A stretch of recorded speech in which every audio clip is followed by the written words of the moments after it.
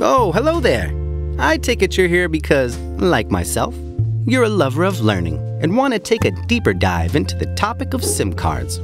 Today we'll discuss what's stored on a SIM card and what happens when you switch your SIM card.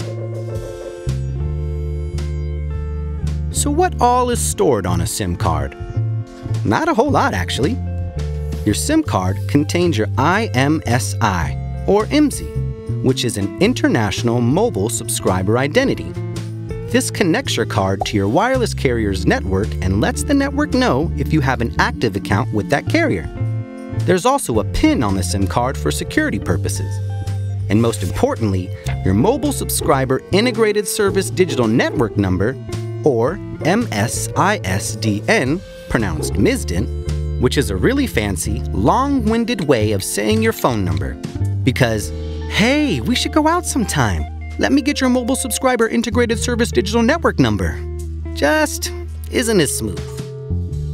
A SIM card does have a little bit of memory on it too, and can store about 250 contacts and some text messages.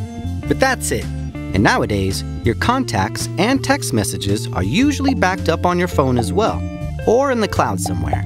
Your videos, photos, apps, and all that jazz, or whatever other music you have on your phone, is all stored on the phone or in the cloud too, and won't follow the SIM card or be affected by switching your SIM. Now, there are three different things you can mean by switching your SIM card, and we're going to discuss them all. First, switching a SIM card from one phone to another.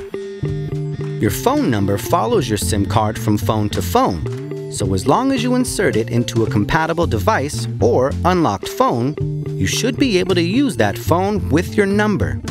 And if you had any contacts saved on that SIM card, you should see them pop up on the phone as well. You could also mean switching your SIM card out for a new one from your current carrier.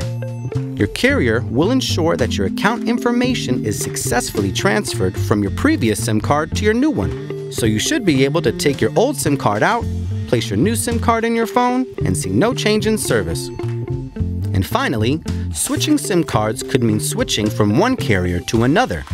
Like when you're ready to join Mint Mobile, hint, hint. That's our favorite kind of SIM switch, and it's also pretty simple.